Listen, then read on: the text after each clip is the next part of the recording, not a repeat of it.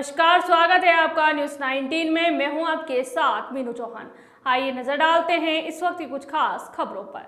Hindoli police थाने के बाहर। शुक्रवार को भाजपा नेता ओमेंद्र सिंह हाड़ा के नेतृत्व में अतिवृष्टि व बाढ़ से हुए खराबे का मुआवजा देने को लेकर धरना प्रदर्शन किया।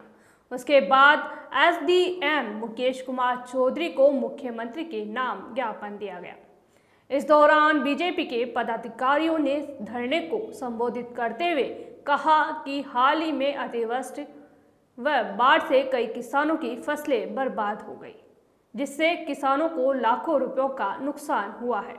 लेकिन राज्य सरकार ने अभी तक क्षेत्र भर में हुए खराबे के किसानों को मुआवजा नहीं मिला। तो वहीं बीजेपी के पदाधिकारियों ने संबोधित करते हुए कहा कि कांग्रेस जुमले की सरकार है सत्ता से आने से पहले बड़े बड़े वादे किए थे, जो अभी तक पूरा नहीं किए गए। वहीं भाजपा प्रदेश कार्यकारिणी सदस्य ओमेंद्र सिंह हाड़ा ने धरने को संबोधित करते हुए कहा कि बीजेपी के कार्यालय में कभी किसानों को कोई समस्या नहीं आई।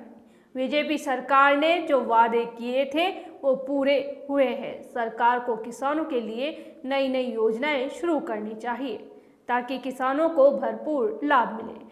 वहीं हाड़ा ने कहा कि जब तक सरकार किसानों को खराबे का मुआवजा नहीं देती, तब तक धरना जारी रहेगा। हिंडोली से न्यूज़ 19 के हमारे संवाददाता इस्लाम खान की एक रिपोर्ट।